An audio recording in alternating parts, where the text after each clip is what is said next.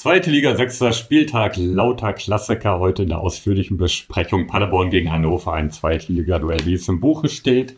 Düsseldorf gegen Köln, der Rheinkracher vor dem Herrn und natürlich Kaiserslautern HSV, ein Top-Duell aus.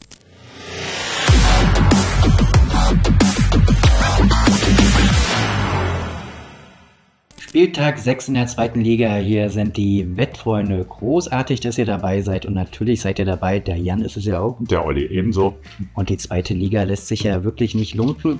Jan hat ja eben schon angedeutet, worum es so unter anderem oder im Wesentlichen bei dieser kleinen Veranstaltung geht. Ja, aber das ist ja wirklich nur ein äh, ja, kleiner Ausblick oder Einblick darin, was die Liga wieder zu bieten hat. Ja, wenn man nur äh, schaut, unter anderem Magdeburg gegen den KSC. Ja, das tabellarisches Topspiel hat es bei uns diesmal nur die Schnellrate runtergeschafft, ja, einfach weil es ja an allen Ecken und Enden brennt. Ja, und insofern warten wir gar nicht lange, sondern steigen gleich am Freitagabend ein mit dem Duell Paderborn gegen Hannover. Ja, Paderborn, siebter gegen fünfter, beide im ja, also mit erweiterten Aufstiegschancen, sage ich mal, ähm, kann passieren, muss aber nicht. Ja, Paderborn 3 zu 3 in Münster gespielt, das war ja wirklich wild.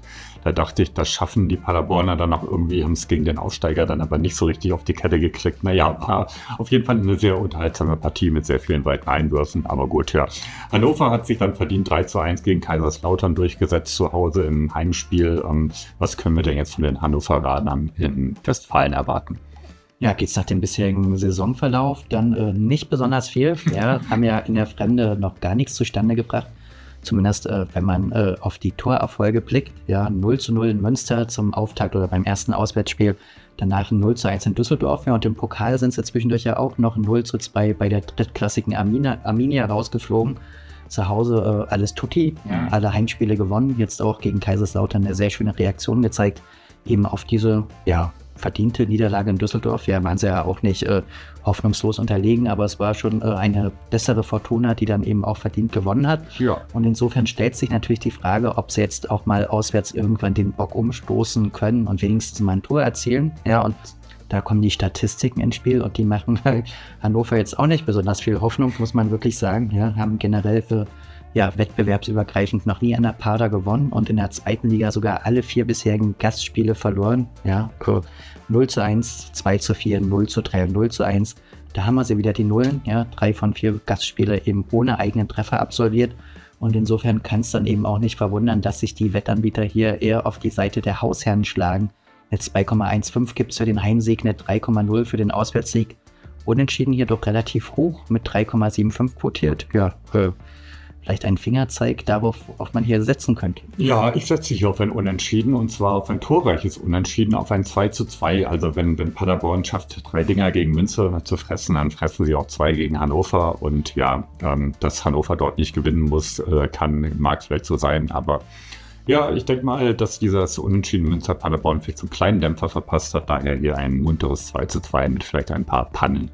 Zur Quote von 12, ja, und äh, man kann schon mal sich die Frage erlauben, wieso das Unentschieden hier so hoch quotiert ist, ja, weil äh, Paderborn hat ja offensichtlich Geschmack daran gefunden, ja, also definitiv waren ja äh, mit sechs Punkten sehr erfolgreich nach zwei Spielen die Saison gestartet, standen an der Tabellenspitze, ja, aber seitdem ein bisschen abgerissen, ein 1 zu 1 in Fürth, äh, wo sie eigentlich besser waren und auch in Führung lagen und das eigentlich hätten gewinnen müssen.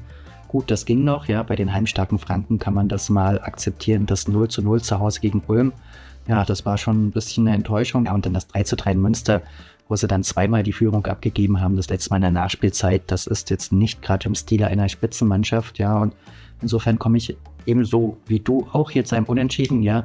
Weiß aber nicht, wie Hannover hier zwei Tore schießen soll, ja. Mein Auswärtsspiel, äh, ich habe es erwähnt.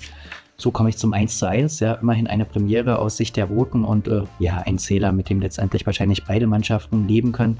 Für Paderborn ist ein bisschen bitterer, ja, weil sie sich ja da äh, den Traumstart weiter kaputt machen, aber die Quote von 7,5 ist es mir wert, mir hier äh, wenige Freunde an der Pader zu machen. No, naja, also können sicherlich beide Mannschaften gut mitleben, je nachdem, wie dieses Ja, der Spielverlauf wir das wieder über den Haufen werfen, ja. also von der Papierform. Ja, der Spielverlauf kann einiges über den Haufen werfen. Es trifft auch auf den ersten FC Köln zu, völlig dominant zu Hause gegen Magdeburg gespielt und dann doch noch 2 zu 1 verloren, aktuell auf Platz 8 und jetzt müssen sie zum Spitzenreiter zur geliebten Fortuna nach Düsseldorf, ob der Chelsea. Die haben 2 zu 0 in Berlin gewonnen.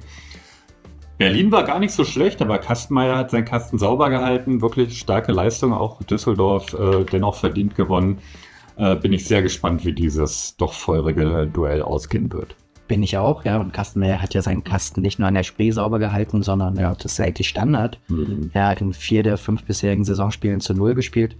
Das andere dann das übrige 2 zu 1 gegen Ulm gewonnen. In Ulm, ja, äh, etwas speichelhaft, aber das soll äh, die gute Saison-Performance nicht trüben, schon gar nicht die der Defensive. Alle Achtung, ein Gegentor nach fünf Spielen. Damit kann man sich dann auch mal äh, ja, in das äh, Prestigeduell mit den Geißböcken begeben. Äh, trotzdem leichte Außenseiterstellung für die in dieser Saison ja äh, logischerweise noch ungeschlagenen Gastgeber mit einer 2,6. Ein Sieg der Domstädter bringt nämlich nur eine 2,5. Ja, äh, feine minimale Unterschiede, aber doch eine interessante Tendenz. Der Wettanbieter unentschiedene 3,6. Ja, und äh, ein bisschen rätselhaft wird äh, diese Einschätzung vermeintlich schon, wenn man auf den aktuellen Lauf der Düsseldorfer blickt, die ja letztmals in der zweiten Liga im Februar verloren haben, Anfang Februar. Ja, und das ist immerhin schon 19 Zweitligaspiele inzwischen her. Ja, dann hatten sie ja zwischendurch auch nochmal in Bochum etwas deutlicher gewonnen. Das Rückspiel war dann nicht so glücklich, ja. Also das heißt, äh, die einzige Pleite in einem Pflichtspiel seither, wenn man mal vom DFB-Pokal absieht, äh, die gab es ja äh, dann vor heimischem Publikum. Ist das denn jetzt stilprägend? Ja, stilprägend ist da vor allen Dingen meine Saisonprognose. Ich gehe davon aus, dass beide Karnevalsvereine direkt ähm, hochgehen werden in die erste Bundesliga. Ich denke aber, dass ähm, Kastmeier da auch seinen zweiten Gegentreffer fressen wird. Ähm, dennoch halte ich Düsseldorf aktuell für stärker. Die Kölner Offensive allerdings auch nicht zu unterschätzen. Daher 2 zu 1 für die Fortuna. Zu einer Quote von 10, ja, und gewissermaßen würde das ja schon passen weil äh, ja, die Kölner in der Defensive jetzt äh, nicht solche Bombenzahlen vorlegen können wie die Fortuna. In drei der fünf Partien haben sie ja zwei Gegentore kassiert, ja, gegen HSV, Elversberg und Magdeburg. Ja, dann gab es nochmal ein, einmal ein Gegentor, nur gegen Braunschweig bisher zu null. Das war das überzeugende Heimspiel, was sie bisher abgeliefert haben.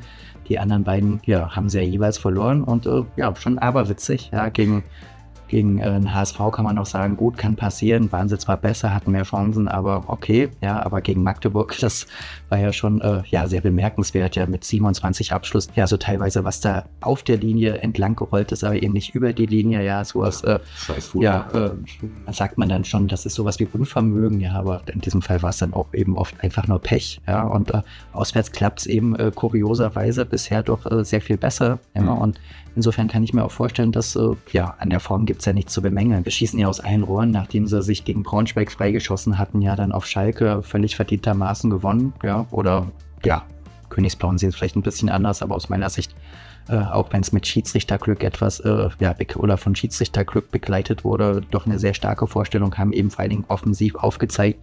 Und gibt nicht viele Mannschaften, die ich zutraue, gegen Düsseldorf äh, oder diese Düsseldorfer Serie beenden zu können. Ja, selbst in dieser ausgeglichenen Liga nicht den Kölnern traue ich schon zu. Mhm. Hätten hatte ich es nicht zugetraut. Mhm. Für meinen Unentschieden hat er jeweils getippt, ja, das war ja noch zu konservativ, zu mutlos. Und den Mut zeige ich jetzt, indem ich hier wieder auf den Auswärtssieg gehe. Ja, das war auf Schalke schon, äh, hat das sehr gut funktioniert. Und äh, das probiere ich jetzt wieder 2 zu 1, also das umgekehrte Ergebnis äh, mit der identischen Quote allerdings auch. Hier gibt es die C. Ja, dann kocht der Wein ja hoffentlich kocht gleich über. Gucken wir mal, was Kaiserslautern gegen den HSV veranstalten werden. Der HSV hat sich da auch freigeschossen von allen Sorgen 15-0 gegen Regensburg gewonnen. Das war sehr gut für das Ego, auch für, für, für, für die Spieler von der Ersatzbank. Da hat sich ja doch gezeigt, dass der HSV da auch immer noch was nachlegen kann, wenn man nur 2-0 führt. Ja, egal. Schöne Partie. Schön, dass der HSV dann doch wieder oben mitspielen möchte. Aktuell auf Platz 4. Ja, Kaiserslautern 1 3 in Hannover gewonnen. Möchte man aber nie abschreiben. Ich erwarte dort eine ganz tolle Partie eine spannungsreiche Partie, wo es hin und her geht, wo sehr viele ähm, Halsadern anschwillen werden von den Trainern. Äh, Freue ich mich drauf. Ja. Was denkst du? Ja, ich denke natürlich auch, dass hier Vorfreude auf jeden Fall unbedingt angebracht ist. Ja, drehen wir mal das Rad zwei Spieltage zurück. Das letzte Heimspiel bisher vom ersten FC Kaiserslautern. Ein äh, ja, sehr ereignisreiches 3 zu 4 gegen die Berliner Hertha. Ja, das äh, erste Heimspiel der Saison ein 2 zu 2 gegen Fürth. Da war ja auch eine ganze Menge geboten, damals mit einer erfolgreichen Aufholjagd der Roten Teufel. Das heißt, äh, der Wahnsinn hat auf dem Betze auch äh, in diesem Jahr wieder Hochkonjunktur. So ja, und ja, der HSV hat sich ja ganz gut in Stimmung geschossen, schon mal, um äh, diesen Lauf äh, auf dem Betzenberg fortsetzen zu können. Auf den schlechtesten Saisonstart bisher in der zweiten Liga, den man ja nach drei Spieltagen konstatieren musste, haben sie ja, äh, ja zuletzt das 5 zu 0 gegen Regensburg davor schon ein auch äh, sehr flottes 4 zu 1 gegen Münster abgeliefert. Natürlich beides äh, Mannschaften, gegen die der HSV zwingend gewinnen muss, gegen die er in der Vergangenheit aber häufig eben, äh, oder Spiele, die er eben in der Vergangenheit häufig nicht gezogen hat. Ja, die mhm. türkischen Aufsteiger, wie viele Punkte haben die Hamburger dann in den letzten Jahren liegen lassen? Ja, jetzt ganz souverän unter Steffen Baumgart. Ja, und äh, damit verdient man sich dann auch mal auf dem, ja, beim schweren Gang auf den Betze äh, durchaus eine leichte Favoritenstellung mit einer 2,2 Unentschieden 3,7 Heimquote für die Roten Teufel in 2,9. Ja, da gehe ich mit und ich erwarte mir auch viele Tore. Ähm, Ache ja auch in bestechender Form. Jetzt, wo er dann wieder fit ist, meine ich, trifft er dann auch gleich wieder, meine ich gleich übertreiben, ja.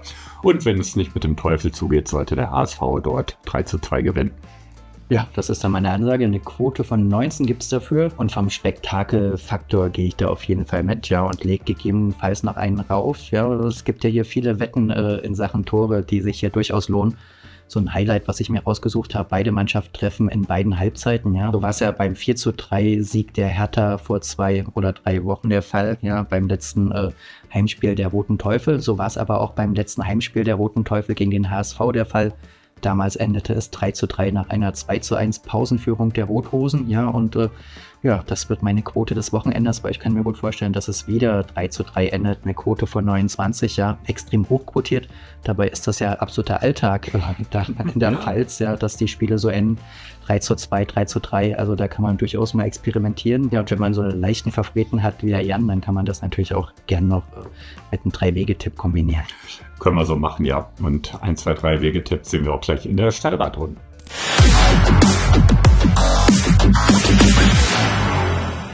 Die Schnellradrunde zum sechsten Zweitligaspieltag beginnt mit Schalke gegen Darmstadt. Ja, Darmstadt in einem Pünktchen geholt in Braunschweig natürlich auch ein bisschen zu wenig. Nein, gegen Braunschweig Schalke 0 zu 2 in Karlsruhe verloren. Da entsteht auch keine Fanfreundschaft mehr. Ja, aber ähm, also für die doch schwächenden Darmstadter sollte es auch für S04 reichen, einen Heimsieg einzufahren zur Quote von knapp 1,9, Unentschiedene 3,8, Auswärtsquote 3,7. Die Stimmung natürlich an beiden Stadtorten nicht gerade goldig. Ausbaufähig. Ja, Schalke nach dem Traumstart äh, gegen Braunschweig nur noch einen von zwölf Punkten geholt. Ja, das hatte man sich natürlich anders vorgestellt. Äh, Neururer bangt schon um äh, den Trainer, ja, und äh, Darmstadt noch sieglos. Die haben ja schon gewechselt. Kofeld jetzt auch nicht gerade mit einem ja, glorreichen Debüt am Ende noch den möglichen Sieg weggeschmissen. Ich schätze Schalke hier etwas stärker ein, ja, den Lehrling, auch wenn sie im leichten Aufwärtstrend war, dann zuletzt, ja, den äh, fällt einfach zu wenig ein und ja, wenn was bei Schalke ging, dann waren es ja noch am ehesten die Heimspiele, zuletzt mal verloren gegen Köln, jetzt ist ein Dreier an der Reihe, ja, knapper Heimsieg. Ja, denke ich auch, denke ich auch. Nürnberg gegen Hertha, der 11. im fängt den Tabellen 9. Ja, Hertha gut gespielt, aber doch verloren gegen Spitzenreiter Düsseldorf. Jetzt muss die Hertha auswärts ran in Nürnberg, die 2 zu 1 in Ulm gewonnen haben. Erfolgserlebnis für die Elf von Miroslav Klose. Bin ich mir sehr unentschieden, wie das jetzt ausgeht, daher tippe ich hier auch auf 0 entschieden. Zur Quote von 3,6. Ja, äh, die Hertha wird knapp vorne gesehen mit einer 2,3 im Vergleich zu einer ja, knappen 2,9 für einen Nürnberger Heimsieg. Ja, Hertha äh, zu Hause klappt es nicht so richtig. Ja. Zwei Heimniederlagen schon kassiert. Vor Düsseldorf waren sie schon gegen Paderborn leer ausgegangen. Auswärts da doch erfolgreich. Ein verdienter Punkt beim HSV, wenn auch spät eingefahren. Dann diese ja, Torgala auf dem Betzenberg, das 4 zu 3. Und ja, da äh, Nürnberg mich doch eher enttäuscht bisher, ja, auch wenn es eine sehr junge Mannschaft ist, auch gegen Ulm ja vor allen Dingen mit sehr viel Glück und sehr, sehr spät gewonnen. Wie ich hier wieder auf dem Auswärtssieg für die Berliner Hertha, ja, die muss ihre Punkte dies Jahr in der Fremde holen. Ja, immerhin Punkte sind Punkte, das sagt man sich auch in Magdeburg, aber schauen wir doch erstmal auf die Partie. Braunschweig gegen Fürth. Braunschweig nach der Leistungssteigerung jetzt mit dem ersten Punktgewinn in Darmstadt immer noch letzter. Naja, was will man machen? Fürth äh, 0 zu 0 gegen Elversberg gespielt. Da war eigentlich auch ein bisschen mehr drin und ich denke, wenn Fürth sich jetzt steigert, können sie auch in Braunschweig gewinnen. Daher ein Auswärtssieg Fürth. Und das im Duell sieglos gegen ungeschlagen, ja, äh, ja, setzt du natürlich auf die Ungeschlagenen. Trotzdem kurioserweise beide Mannschaften mit äh, identischen Quoten ausgestattet. Jeweils eine 2,55 für einen Heim- und für einen Auswärtssieg. Unentschiedene 3,6. Ja, Braunschweig ja auf dem letzten Drücker auf dem Transfermarkt nochmal richtig zugelangt. Ja, äh, Offensive, zentrales Mittelfeld und so weiter und wurde ja prompt mit dem ersten Punktgewinn belohnt. Vor allen Dingen haben sie sich aber defensiv ja stabilisiert, in den letzten beiden Partien drei Tore zusammengenommen, kassiert. Ja, insgesamt sind es ja schon 16. Das heißt, äh, ja, am Anfang ging es ja da in den ersten drei Spielen ganz, ganz bitter los. Ja, äh, die schlechten Quoten für Fürth oder die hohen Quoten zeigen schon an, dass es auswärts meistens nicht ganz so erfolgreich ist für die Spielvereinigung. Insofern nehme ich hier das Unentschieden. Nimmst du das Unentschieden? Ja, wenn Braunschweig da irgendwie an der Leistungssteigerung weiter arbeiten kann. Elversberg gegen Ulm, ja, äh, da bin ich ein bisschen fantasielos, äh, sollte Elversberg gewinnen. Zur Quote von reichlich 1,9, unentschieden eine 3,5 Auswärtsquote für Ulm eine 3,7. Ja, und Ulm bleibt dabei, ja, dass sie äh, ja optimale äh, Spielverläufe nicht in Punkte ummünzen können, am Ende dann immer gern noch verlieren. So stehen sie weiterhin bei einem Punkt. Ja, da wirkt Elversberg mit der einjährigen Erfahrung ja, im verflixten zweiten Jahr vermeintlich sehr viel abgeklärter und erfolgreicher. Bis jetzt habe ich noch kein enttäuschendes Spiel äh, von der Spielvereinigung gesehen. Ja, auch die einzige Niederlage, das 2 zu 3 beim KSC war sehr, sehr ordentlich. Jetzt das jüngste 0 zu 0 in Fürth sowieso, ja, äh, richtig stark. Und da reicht es natürlich dann auch äh, für einen Sieg gegen den Liganeuling. Ja, schön. Kommen wir mal zum absoluten Topspiel des Tages in der Schnellraterunde. Der erste FC Magdeburg empfängt den Karlsruher SC. Dritter gegen Zweiter. Man höre und staune hier. Dieser unglaubliche Sieg in Köln hat dem Magdeburger Punktekonto natürlich sehr gut getan. Der KSC mit dem 2-0 Erfolg gegen Schalke weiternehmen soll. Und da sage ich mir, wer in Köln gewinnen kann, kann auch zu Hause gegen Karlsruhe gewinnen. Daher ein Sieg Magdeburg zur Quote von 2,62, Unentschieden 3,6, KSC eine 2,45. Ja, beide Teams noch ungeschlagen. Ja, und äh, Magdeburg aber vor allen Dingen auswärts eben äh, ja, stark vielleicht nicht, aber erfolgreich auf jeden Fall zu Hause. Bisher zwei Unentschieden gegen Elversberg und Schalke, jeweils äh, ja, Punkteteilung. Und das passt auch zur bisherigen Heimbilanz in der zweiten Liga gegen den KSC. Zweimal äh, haben sie die Wildpark-Jungs empfangen. Beide Male ging es 1 zu 1 aus. Letzte Duell war dann nicht so erfolgreich. Der KSC hat zu Hause üble Rache genommen, 7 zu 0 gewonnen im Frühjahr ja, gegen äh, die Bördestädter. Aber ja, unentschieden ist auf jeden Fall drin für die Magdeburger. Es ist, äh, ja, müssen sie nicht verlieren wenn sie es vielleicht auch nicht gewinnen aus meiner Sicht. Na, wir mal. Ach, der Agnes. Halt, ein Sieg ist auch mal fällig, denke ich. Regensburg gegen Münster, da ist weder ein Sieg noch eine Niederlage fällig. Ich tippe hier auf ein langweiliges Unentschieden, 14. gegen 15. Ja, was für ein Aufsteigerduell im Tabellenkeller. Unentschiedene 3,5 ja, Regensburg favorisiert mit einer 2,37, Münster eine 2,8. Und natürlich ist der Jan äh, favorisiert, ist ja der einzige Aufsteiger, der in dieser Saison schon mal gewinnen konnte. Ja, und zwar im anderen möglichen Aufsteigerduell gegen Ulm hatten sie sich ja äh, knapp mit 1 zu 0 durchgesetzt. Zuletzt äh, neigten sie dann dazu, sich böse abschießen zu lassen. 0 zu 2 gegen die Hertha, das war noch ordentlich. Dann das 0 zu 4 gegen Fürth, 0 zu 5 beim HSV.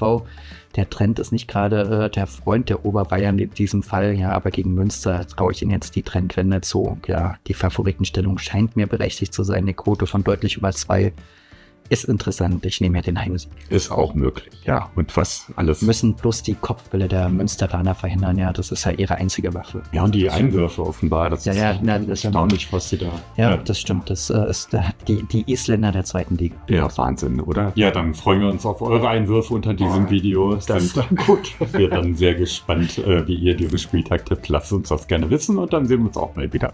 Ja, Jan, der Wortakrobat, der unsere kleinen Ausführungen wunderbar mit Fußballvokabular äh, vermengen kann.